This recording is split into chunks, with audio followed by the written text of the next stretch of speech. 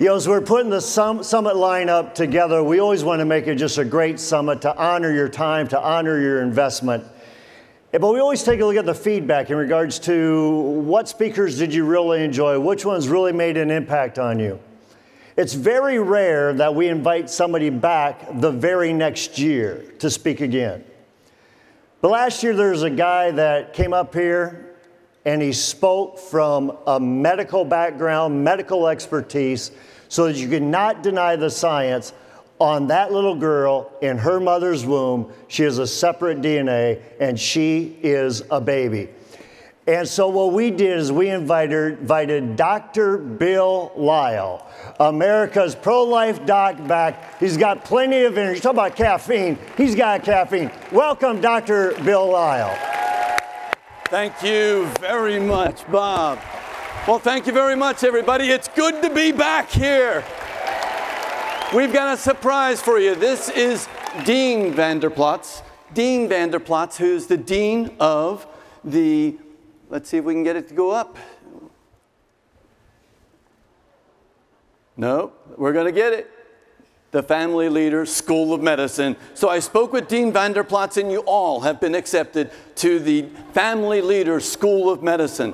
When we go to medical school, and I practice obstetrics and gynecology, I've delivered 4,000 babies, and it is the love of my life but I love being right here. I know that when I am standing here talking about the right to life and my patients in the womb, this is exactly where God wants me to be, right here in this little square. And I thank you for being here today. So you're in medical school now. Call your moms and say, Mom, I'm in medical school. You made it. All right, so the first thing we do is we start to teach in Latin.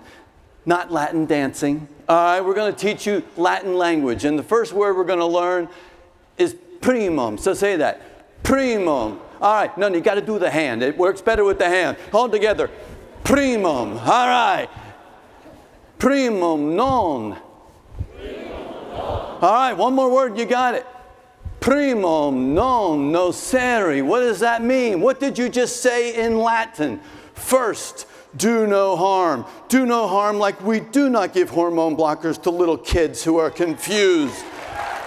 The second thing we learn after prima non nocere is how we treat the preborn as patients. Patients have rights. More than half of the states now have patients' bills of rights. Even as liberal as New York State is, they have 22 separate rights that they list. Are these are for all patients.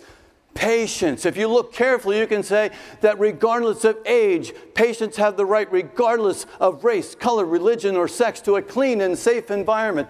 If they are a patient, they are a person. The rights come from God. It is the duty of good government to defend those rights which come from God. I was at the University of Florida College of Medicine. I was talking to the students, and I said, if I have a patient in the emergency room that needs a blood transfusion, or if I have a patient in the emergency room that needs open heart surgery or laser vascular surgery, but they weren't born in the United States. Do I still need to provide them with care? One of the medical students stood up and says, Dr. Lile, we've been taught here at the University of Florida College of Medicine that a patient is a person, is entitled to respect and bodily integrity. I said, I was taught the same thing when I was here. And I'll tell you that every one of those patients I just described received the care that they needed, even though they weren't born in the United States. Yet. And that is the key. We are treating the babies in the womb as patients. And now you're going to medical school. We're going to go into the operating room. We're going to go into labor and delivery. The first thing we're going to learn is something called a pubs. How many of you like to go to pubs? Okay, I see the heads nodding. The, the Baptists are like, no, not really, you know? But pubs, what is a pubs? A PUBS is a peri-umbilical blood sampling. From the moment of conception, the mother and the baby are different individuals. In fact, the baby can have a different blood type from the mother. Their blood does not mix. And sometimes the mothers will have antibodies which will cross the placenta and start to attack the baby's blood. The baby's blood count starts to go down, and we can see this on ultrasound. If we have a patient that is having a decreased blood count, we have two choices. We can either deliver that baby and then give the baby blood, or we can give that baby a blood transfusion in the womb. We have given babies blood transfusions in the womb as early as 18 weeks gestation. They can't survive on the outside for another seven weeks, yet we can guide a needle through the skin to the umbilical cord with blood that one of you donated that had O negative blood. We transfuse that blood into the umbilical vein of the baby and we save that baby's life. So if this is the baby, you can see the big umbilical cord there. We would guide a needle right into that umbilical cord right there and give that baby a life-saving blood transfusion. Sometimes we have to do this every three or four weeks because the mom's antibodies still keep attacking the baby's blood. If we can give a baby in the womb a blood transfusion to save its life, is that a patient? Yeah, and a patient is a person no matter how small, and patients have rights. Now I'm going to show you something called twin twin transfusion syndrome. Remember the uh, movie with Arnold Schwarzenegger and Danny DeVito, twins, all right? This is what was going on. You see one big baby and one little baby. Why is one little? Because they are sharing one placenta because they are identical twins, yet they are not sharing equally. So when we have patients like this, what do we do? Do we send them to finishing school so they learn how to share? Yeah, we send them to Texas Children's Hospital in Houston. They teach them how to share in the womb. How do you teach a baby how to share? They will go inside the womb with a laser and they will take that laser and they will just divide the placenta in two. I'm going to show you a brand new animation. Cost us thousands of dollars to do just for this event. This is the world premiere. The view that you are going to see is what it would look like if the GoPro was already inside of the womb with these babies on the inside. So this is a pro-life doc video. Remember, we need to do laser to divide the placenta in two. Starts out kind of dark there on the inside because there, aren't, there isn't much lighting on the inside. See the little white spot? That's the camera and the instrument coming in from the inside. And the kids are like, well, I knew you were there, but I didn't know you were so good looking, you know? Identical twins. So now the camera comes in and the kids are looking at it for the first time they see light. Now the surgeon is going to use a laser. Just like Luke Skywalker, he's going to use that laser and divide the placenta in two. We send these babies down to Texas Children's Hospital. They might be at the 99th and 1st percentile. 10 days later, they send, us, send them back to Pensacola. By the time they deliver, weeks and weeks and weeks later, they might be at the 60th and the 40th percentile. We are teaching these babies how to share in the womb. If we are doing laser surgery and teaching them how to share nutrition, are they patients? Yeah. And patients have rights. A patient is a person, no matter how small. But is that all we're doing? Who remembers this picture? Yeah, I'll make you feel old. You know how long ago that was? 24 years is when that was done. This is a baby that had a defect in his spine called spina bifida. Vanderbilt University was doing a trial where they were opening up the uterus and actually repairing the defect on the inside. Not because it was cool to do, they now know that these babies have better outcomes when you follow them for 10 years, they can walk better, they can go upstairs, downstairs, have better control of their bladders and bowels. When we take the initiative to treat them as patients on the inside, we have improved their quality of life for the rest of their lives. But then was that it? No. Because look, that's that baby in the womb. That's Samuel Armas with me up at Georgia Right to Life. And that's Samuel Armas now. Is he a patient on the left? Yeah. Is he a patient in the middle? Yeah. Is he a patient on the right in his mother's womb? Absolutely. And a patient has rights, and a patient is a person, no matter how small. That was generation one. So if you have a gen one, what else do you have? You got a generation two.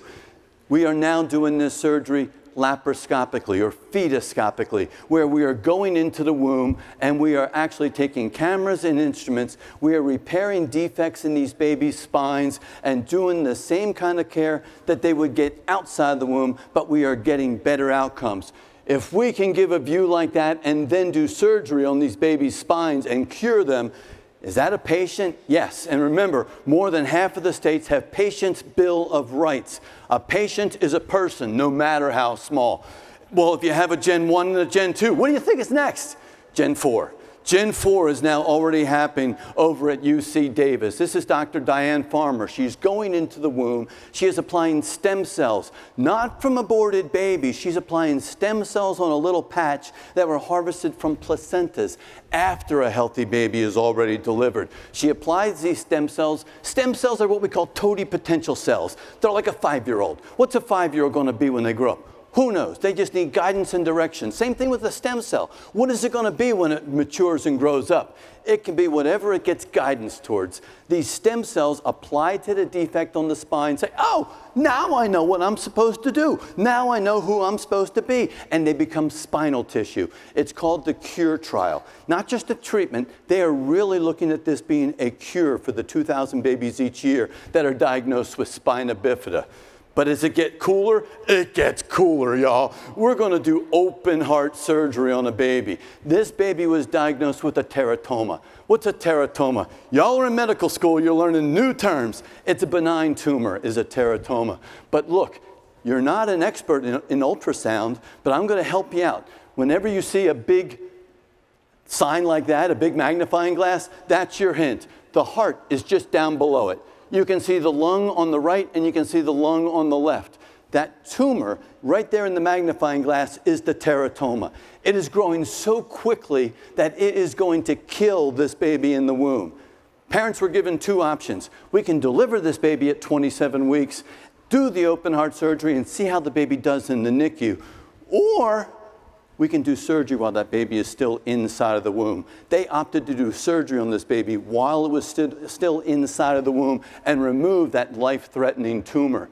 I'm going to show you a video, and the thing I want you to remember about this, it's amazing to see Mom had an epidural. She's comfortable, just like a mom who's delivering a baby.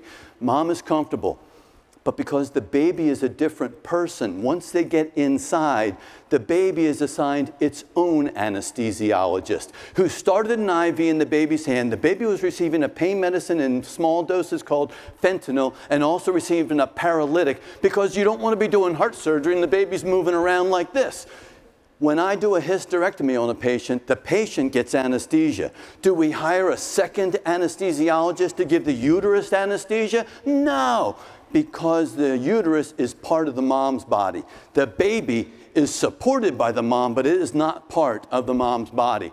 So this is how this surgery was performed over at the Cleveland Clinic. There's mom, there's her beautiful baby on the inside, and you can see right there on the baby's heart, you can see that little white thing there on the top. That is the teratoma. So we're going to zoom in a little bit closer, and this is the tumor that is going to kill this baby. That little white glob is growing faster than the baby's heart.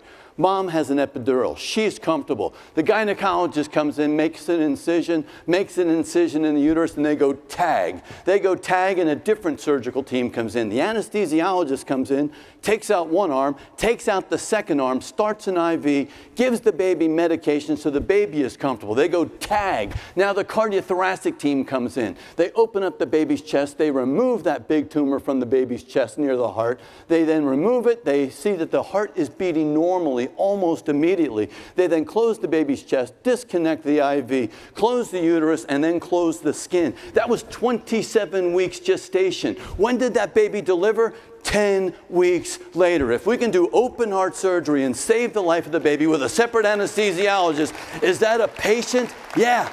And a patient is a person, no matter how small. Patients' bills of rights. This is how one way we can defend God's preborn in the womb. This is a picture of the actual surgical team. You have 25 doctors, nurses, and techs working to make sure that the mom is healthy and the baby is healthy. You had two people with heartbeats walk into the operating room, and you had two people with heartbeats walk out of the operating room. What happens with abortion? Surgical abortion, two heartbeats walk into the room, and one heartbeat walks out of the room. If half of your patients are dying and losing their heartbeats, that is not health care. This is health care at the highest level. I told you they started an IV in that baby's hand, right? That is that exact baby, and that is that IV that they were giving fluids, pain medication, and a paralytic to. Is that a patient? That is as clear as it can be that this is a patient, and patients have rights. That is that baby. That baby turned two years of age yesterday. But this is the patient that was there on the inside. His name is Rylan. And you think, oh, it can't get cooler than that. It keeps advancing. That's what medicine does. Four weeks ago, Children's Hospital of Boston had a baby that was diagnosed with a Galen malformation of the brain. A Galen malformation is when there's a connection between a high pressure artery and a low pressure vein. And it would be like blowing up your kid's balloon, but using the pressure washer instead. And what happens is the vein starts to just get distended and growing. Well, half of these kids diagnosed with this get really sick. And right after delivery, those kids that get sick, half of these kids die. And you're saying, well, there's no way they operate on these babies on the inside to correct a problem with the brain.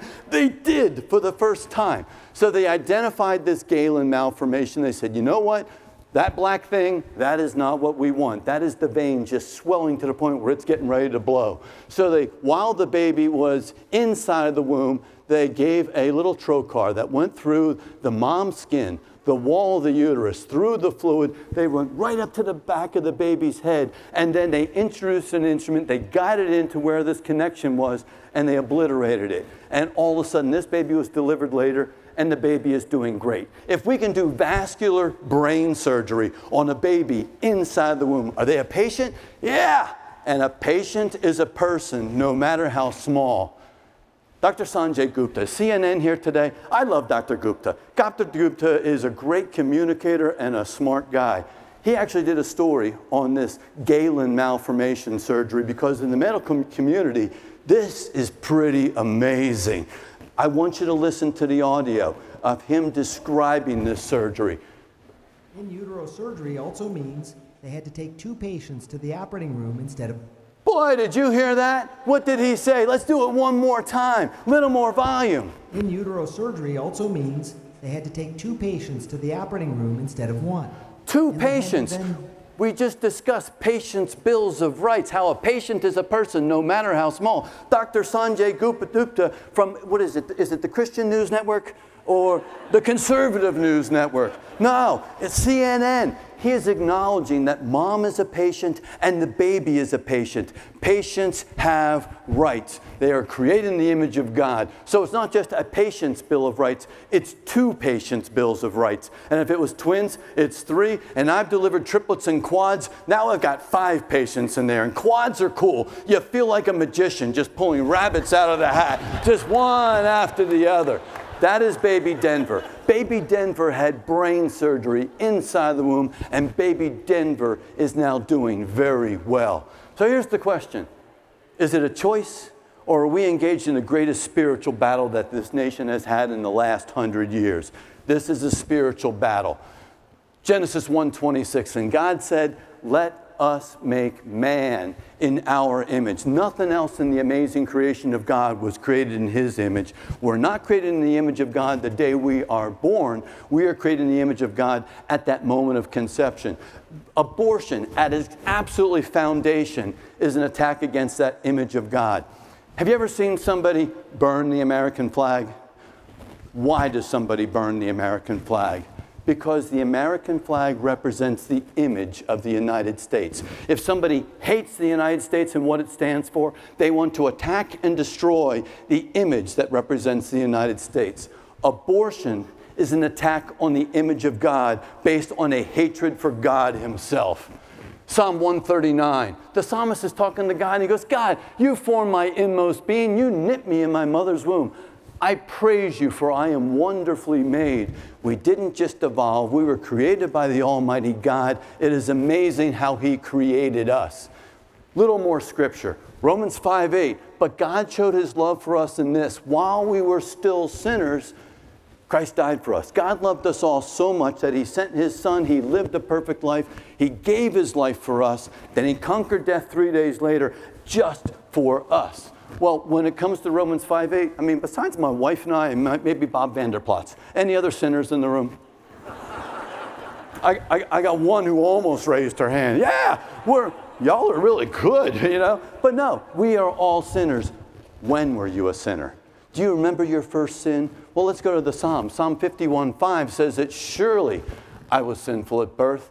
Heck, I was sinful from the time my mother conceived me. We were conceived with the sin nature. If God loves the preborn, the little sinners in the womb so much that he would send his son, give his life, and then conquer death for all of us, including the preborn, do the preborn deserve all of our efforts to defend their lives? Absolutely. Can we win? Oh my goodness, y'all, we are winning. Did you see what happened over here at this table today? This was like the Declaration of Independence being signed. I mean, this is an amazing feat. I mean, here you have Governor Reynolds. And if you don't know, my middle name is Reynolds, William Reynolds Lile. So, Governor Reynolds, I know we've got to be relatives. They passed the heartbeat bill before, and she signed it into law. And then the, the Supreme Court here said, no. What did she say? She came right up to them. She says, Are you talking to me? Are, are you talking to me? And what did she do on Tuesday? She brought back members of the House and the Senate. They worked through the night. They passed the bill, and you saw her just sign that.